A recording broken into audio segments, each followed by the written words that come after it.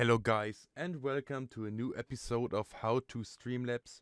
In this video I'm gonna show you how you remove the music in your Twitch VODs. If you haven't already enabled your VODs, first thing you're gonna do is go to your Twitch creator dashboard, go to settings, stream and enable save previous transfers and always release VODs. Please enable this. Next step, we hop into Streamlabs OBS. An important thing to say is, after this tutorial, you have to add every new audio source that you want your stream to hear. That means you can't just add a new screen record source like desktop capture or game window capture and that's it. No, you need to add the audio source of it too. That's very important. And I'm gonna show you how. First thing you need to do is disable your desktop audio by just clicking this little mute button here. Then we go on this little settings button, go to global settings, streaming track, you select 1, enable Twitch VOD track, enable it, and Twitch VOD track 2. Audio tracks you make 1 and 2. Then you add a new source called application audio capture beta beta. Click add source. Uh yeah. Add source we call this spotify audio.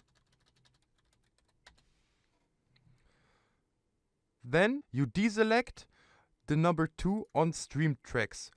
That means the spotify audio source will always be heard in the track number one.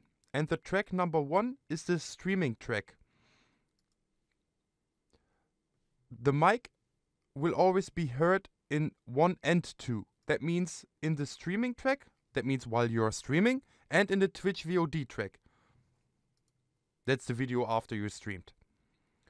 On window, we choose our window we want to hear.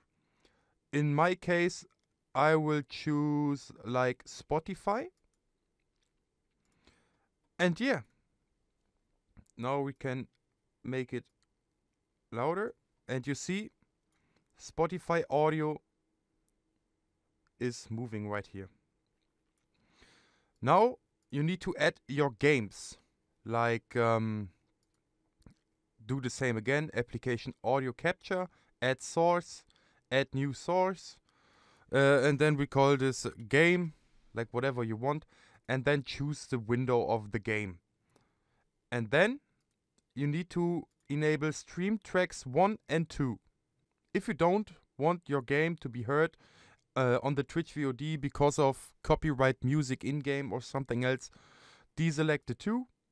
If there's no copyright music in the game, just select both. Now, if you watch the stream VOD, you will just hear your mic uh, and your game. And the Spotify audio is disabled. Thanks for watching. Please leave a like, a comment. And if you want, you can subscribe. If you don't want, then don't do it. Yeah, goodbye.